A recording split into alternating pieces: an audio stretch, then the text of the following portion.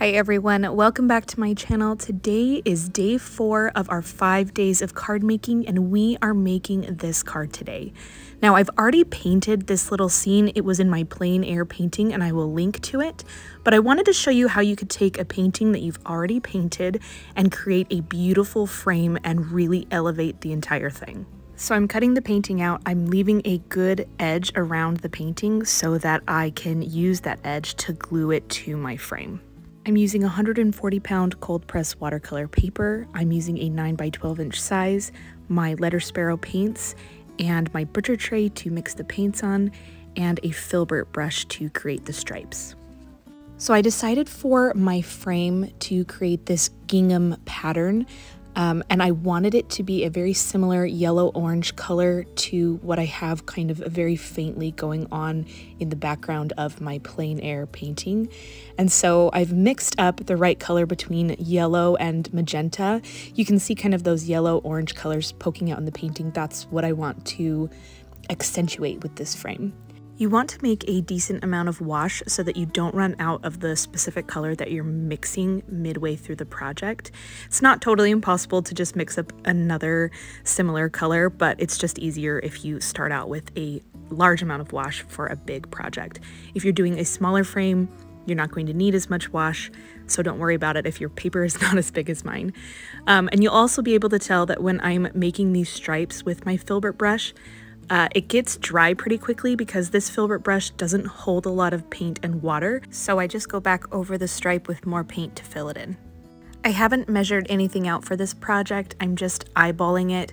I want the stripes to be pretty much the same width apart, but I want it to also look really loose and not totally perfect. So I like that the stripes are not perfectly straight. They're a little bit wavy and wonky in some places. I like that some areas of the stripes are lighter than others, so I'm not trying to fix it too much. I just want to make sure that the stripe is a solid color. There's not anywhere where maybe there's white patches because there needed to be more paint. And I'm just not really worrying about the rest. Now that I've finished with my vertical stripes, I'm going to paint my horizontal stripes. The most important thing though is to make sure that your first set of stripes are completely dry before you add the next layer of stripes that gives us the gingham pattern. This is because watercolor is transparent, so you're going to get that beautiful classic gingham pattern by just letting the watercolor do the work and overlap.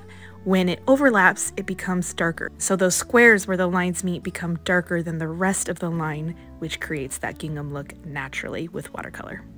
You might notice when you see me paint something like this that I'm really not looking for perfection. Everything's a little bit rustic and rough in some areas.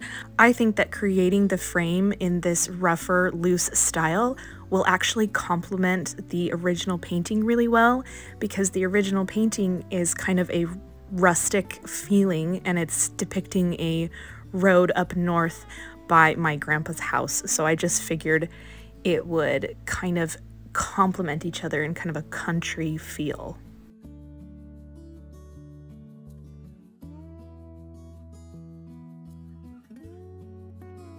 Okay, so now we need to let all of our stripes dry and everything always dries a little bit lighter and more dull than you might be anticipating, so go as bold as you can.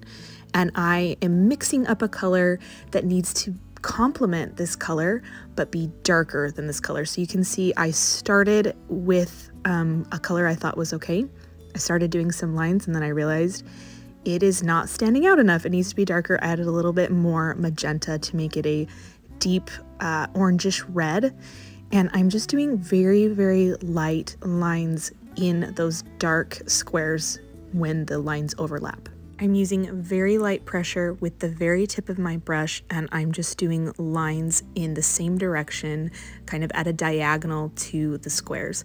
I am not trying to make these lines perfect. Some are thicker than others, some are thinner than others, some are darker. It's all going to lead to the overall effect that I'm trying to create. So this is a style that you might have seen where people will add lines in these squares in gingham and it's so stinking cute. But you shouldn't worry too much about making all of your lines perfect. It's kind of the point that they don't all look perfect.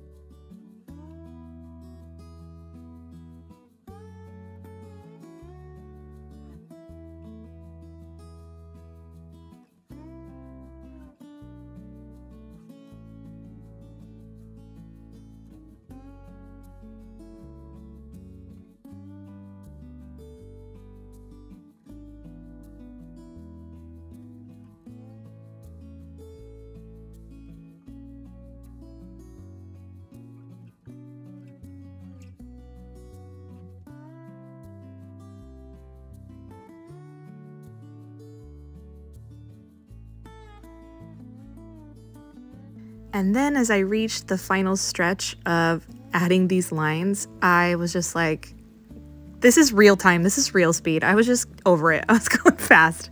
So um, if you're impatient like me, these lines still look really good. And I think they get cut off anyway because I trimmed the piece anyway. So I think that's probably why I was like half over it. Like, are these even going to be in the final piece? Let's just let's just get these lines done real quick. All the lines will look good. It doesn't matter how you do them. And overall, with all those tiny wonky lines, doesn't the whole general effect just look so cute? I love it. I looked at a bunch of circular objects through my house to gauge how big I needed to cut the hole for my frame. I wanted it to be small enough that no white would show through. And so I ended up with this bowl, measured it out, did a little pencil sketch, and then I used my X-Acto knife around the bowl just to cut it right out right there.